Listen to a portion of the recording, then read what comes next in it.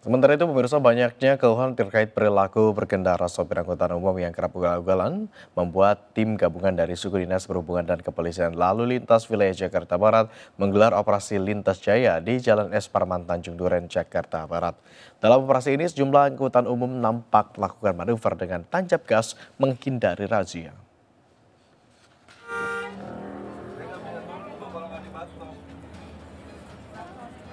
Kopaja dan Metro Mini ini langsung tancap gas saat melihat adanya operasi lintas jaya yang digelar tim gabungan Sudin Perhubungan dan Satlantas Polres Jakarta Barat di Jalan Es Parman Tanjung Duren, Jakarta Barat.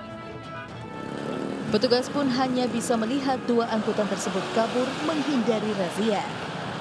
Operasi digelar karena banyak keluhan dari masyarakat soal perilaku berkendara angkutan umum ini masih banyak didapati sopir tembak dan tak memiliki SIM.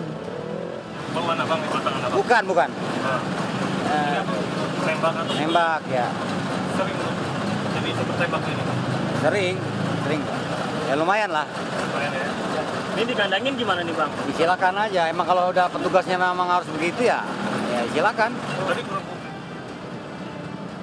Dalam operasi lintas jaya ini, banyak ditemui kendaraan umum yang tidak layak jalan serta tidak memiliki kelengkapan surat-surat kendaraan.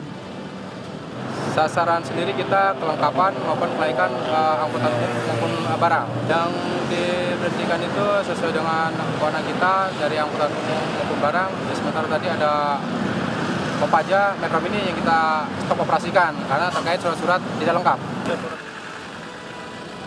Sebanyak lima unit angkutan umum dikandangkan oleh petugas Sudin Perhubungan, sementara sejumlah sopir tertembak mendapat surat tilang oleh petugas kepolisian.